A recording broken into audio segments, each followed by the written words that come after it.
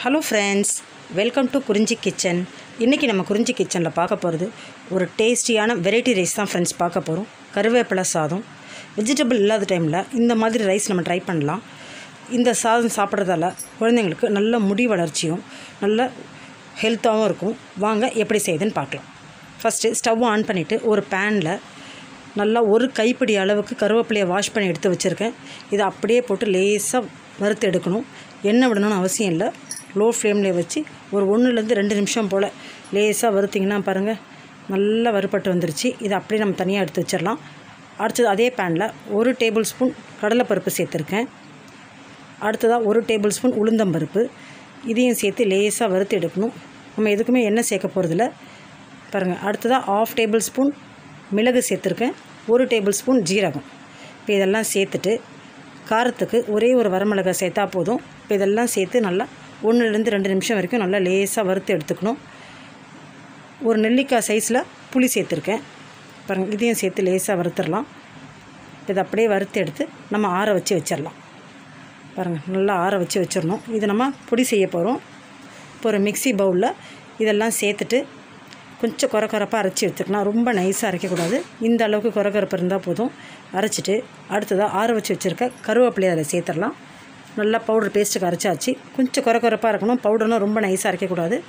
அடுத்தது stove on பண்ணி உடாயில் ரெண்டு டேபிள் ஸ்பூன் எண்ணெய் விட்டுருக்கேன். எண்ணெய் சூடானதும் நம்ம ஒரு டேபிள் ஸ்பூன் போல் கடுகு சேர்த்துக்கலாம்.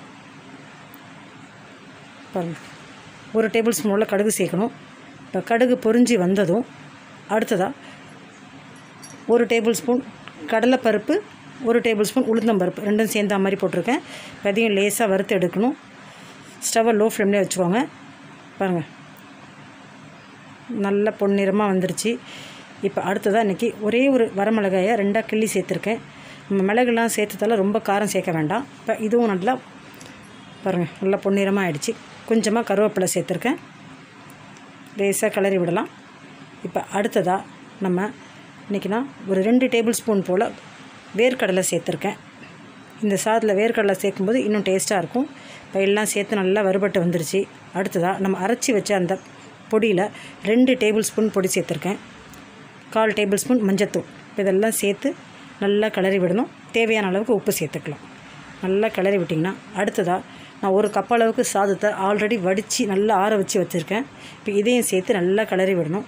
ஒரு ஒன்றுலேருந்து ரெண்டு நிமிஷம் போல் நல்லா கிளறி விட்டிங்கன்னா இந்த பேஸ்ட்டு நல்லா இதில் சாதத்தில் நல்லா கோட்டாகிடும் பாருங்கள் நல்லா எல்லா பக்கத்துலேயும் படுற மாதிரி நல்லா கிளறி விடணும்.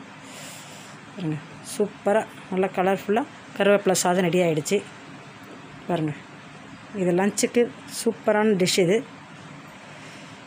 பாருங்கள் இதுக்கு உருளைக்கிழங்கு கிரேவி இது வேணால் வச்சு சாப்பிட்லாம்.